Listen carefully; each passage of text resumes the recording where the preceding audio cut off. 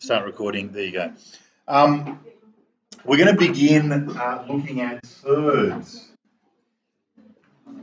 Surds.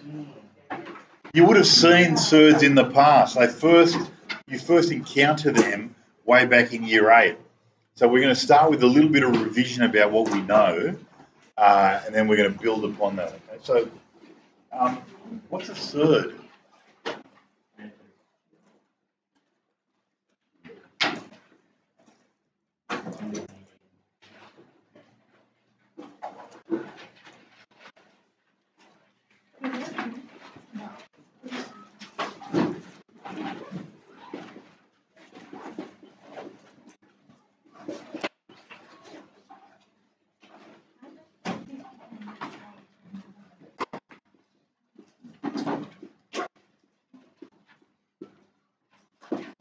Okay, so a surd is a number involving uh, the root sign that cannot be reduced to a whole number. So, for example, uh, root 2 is a surd. Root 3 is a surd.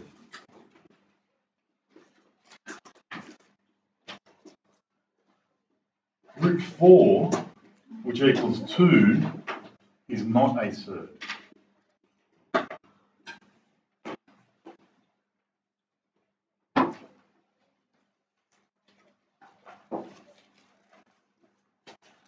Continuing, just extending the idea just a little bit. Uh, if I talk about, uh, say, uh, root 8, well, root 8 is equal to the square root of uh, 4 times 2, which is uh, the square root of 4 times the square root of 2, which is 2 root 2. This is a surd. Because it involves the square root sign and cannot be simplified to a whole number.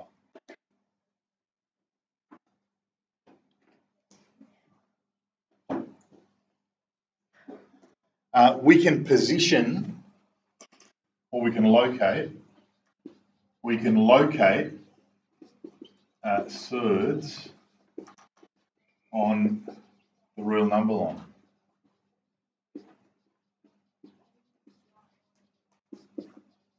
Now you may have done this in year eight. Um, it's painful to do it uh, very, very accurately. Uh, and I'm guessing that uh, if uh, you're sitting there without a, uh, a set of compasses, uh, it's going to be very, very difficult. So I'll describe the process and I'll have, put a diagram up of it on the board uh, so you can see what that looks like. But uh, you're not going to be asked uh, to, to, to make this construction in an exam. It's enough that you see how it works.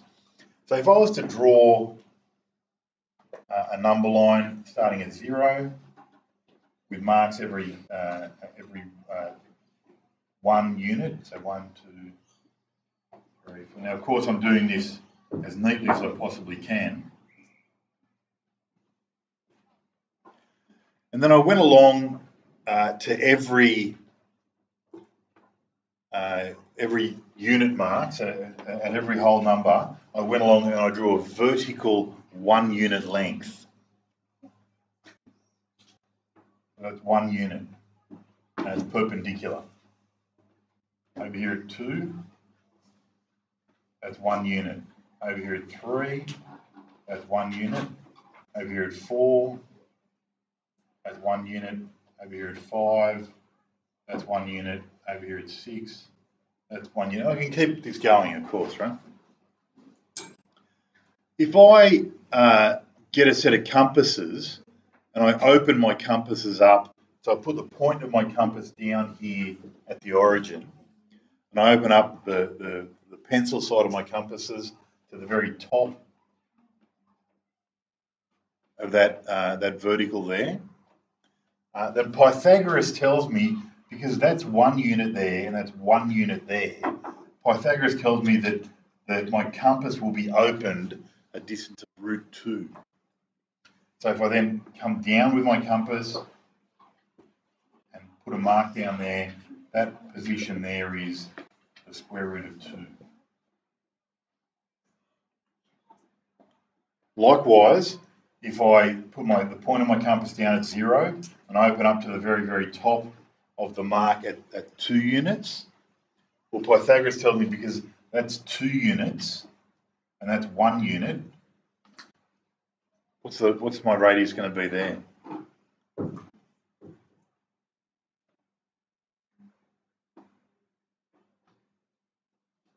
Well, if that's two units across the bottom and one unit across there, well, close. Pythagoras says that that's the square root of that squared plus that squared, so it's going to be five units along there. Oh, sorry, the, square root of five units along there. If I come down here, that brings me down to root five. It is confusing, did you say? Right. Well, okay. Let's stop there. I'll, I'll, I'll, clean the board and I'll do this again larger and we'll, we'll get more of a look at what's going on. We can do more detail inside, but we'll stop. We'll actually do the more detail on our larger diagram. Has everybody at least up to the up to the full stop here? Has everybody got that down? Okay, it's going to go up on the on the YouTube channel anyway, so you can always catch it later on. So let me very quickly get that out of the way and start again with that construction. So what's your what's your YouTube name? XX Slayer LB. It's very funny you should ask. It's very funny you should ask because when Mrs. Davies saw uh, my YouTube, my very first YouTube that I uploaded from Extension 2 this morning,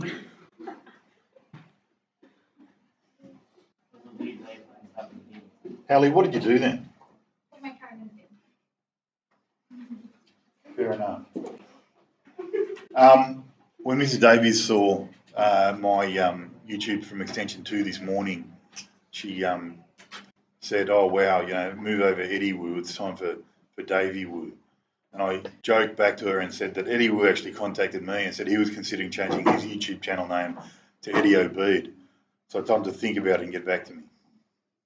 Thanks for getting that, John. I appreciate that. Okay, um, so we're looking at if I if I have so all this is is a, is a number line I had drawn there. So here's my zero on the number line. Here's one unit. If I come across to one unit there and I draw a one unit vertical, then think look at this triangle here. That's one unit there, that's one unit there. According to Pythagoras' theorem, this is the square root of 1 squared plus 1 squared. That's going to be the square root of 2. I'll just leave that there for now. Oh, no, I won't. So imagine I put my, my the point of my compass uh, there at the zero, and I open my compass up so that the, the tip of it is up here at the end of that, uh, that hypotenuse, and I draw an arc. So I go from there and I draw an arc down to here. Well, that means that this point here is root 2 units along the number line. Does that make sense? Well, let's let's let's look at it again. Let's look at it again. Let's go right back. Let's go right back. Uh, who can tell me what Pythagoras' theorem says? Yep. It says that a squared plus b squared equals c squared. So in other words, if I rearrange that, c squared is a squared plus b squared. Well, that means that c is the square root of a squared plus b squared. In this triangle here, that was one unit, and that was one unit.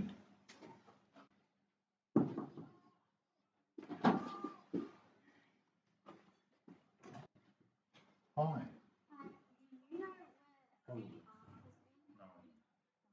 Where, where, where would they have gone? No.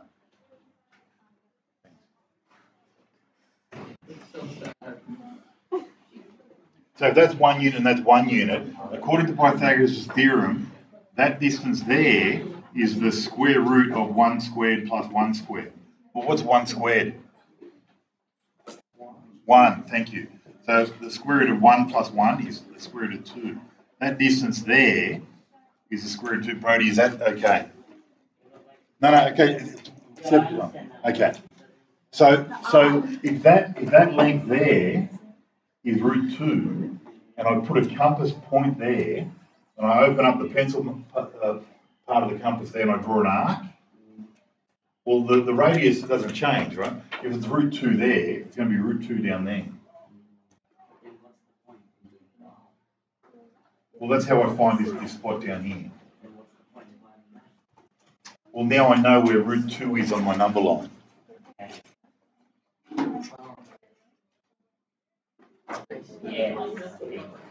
Okay, now look what I can do from here, Brody. At root 2, I can draw another one unit going up. Well, now what have I got? Now I've got a triangle where that's one unit there, that's root 2 units there. How do I work out that hypotenuse? Well, Pythagoras' theorem says it's going to be the square root of root 2 squared. What's root 2 squared? 2 plus 1 squared.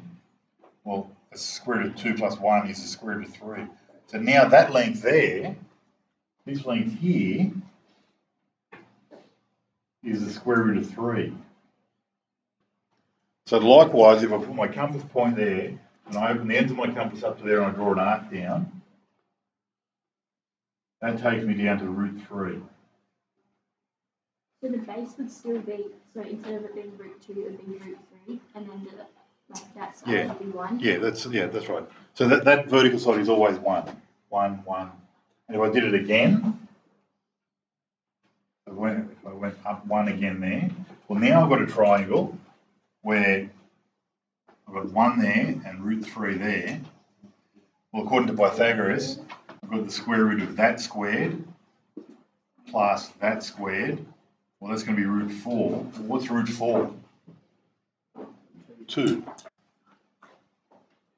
So had I drawn this really, really neat, this would actually be two on my number line. And so I can keep on going. So I've got root one, root two, root three, root four, root five, root six, root seven. So I can I can construct all of the square roots on the number line if I wanted to.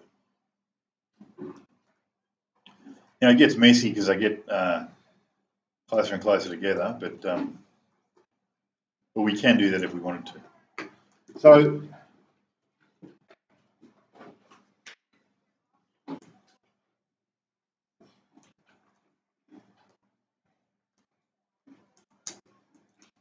Can you close the, uh, this video on the, uh, Yeah, for sure. Okay, so uh, a very brief note on simplifying surds.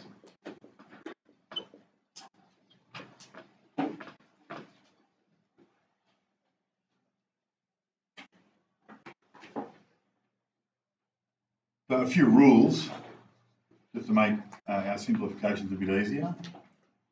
The square root of uh, a times b is the same as the square root of a times the square root of b. Uh, the square root of a divided by b is the same as the square root of a divided by the square root of b.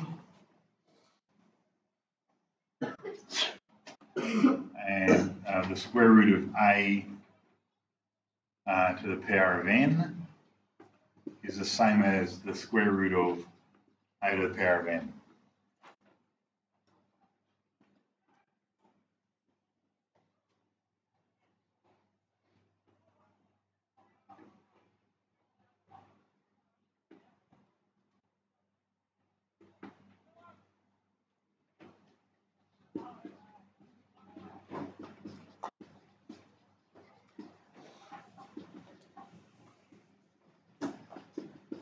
Now, as with algebraic addition and subtraction,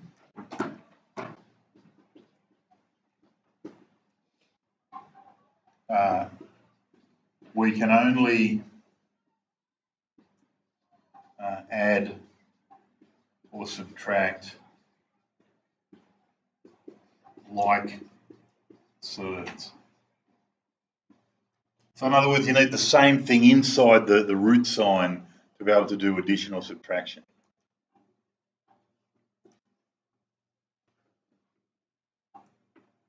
Don't panic too much, guys, if you don't uh, sort of keep up with the notes, because it will be available uh, on the Google Classroom, uh, on YouTube in the Google Classroom. So um, let's look at some examples of that. So if I have uh, 4 root 3 plus 2 root 3, just like with algebraic addition and subtraction, because they are like surds, because they're both a root 3, I can add them. So, and I only add the coefficients, I only add the numbers out the front. Same deal with subtraction. So 7 root 5, take away uh, 2 root 5 is 5 root 5. The thing inside the square root does not change.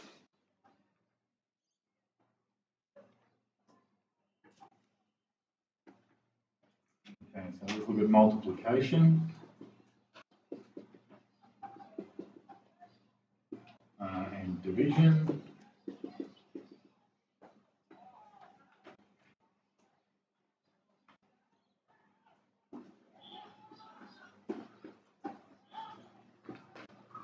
So I've got two surds. One is A times the square root of B times C times the square root of D. Well, then the coefficients, the numbers out the front, I multiply as normal, and the parts inside the surd, I multiply them as normal. So same deal with division. Uh, A root B divided by C root D is A over B times the square root of B over, uh, sorry, A over C, forgive me. A over C times the square root of B over D. So a couple of examples for that.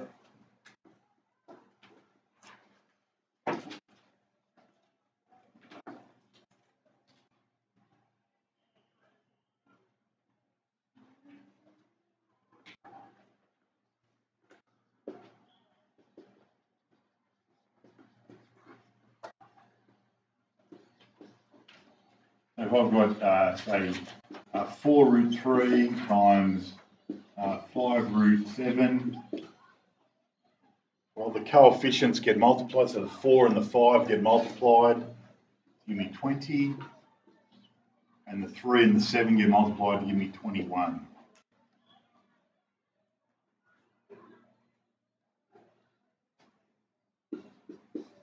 Likewise, let's say I had uh, uh, 20 root, uh, I don't know, 12 divided by 5 root 4. I know the root 4 is 2, I'm just doing it for purposes of illustration.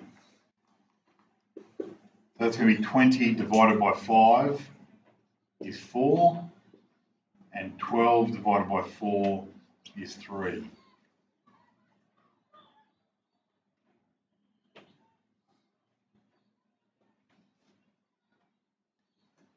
So the 4 comes from the 20 divided by 5, and the 3 comes from the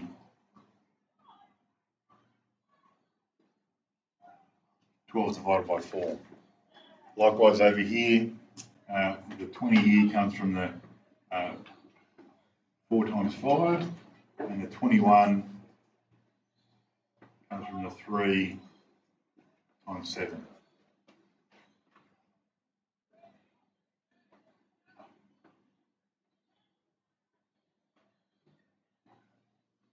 Now, that's uh, a refresher of the basics. Obviously, uh, the problem's going to become a bit more elaborate, but I'd like you to, to get in and have a go before we speak about some of the more nuanced kind of uh, things you're going to come across.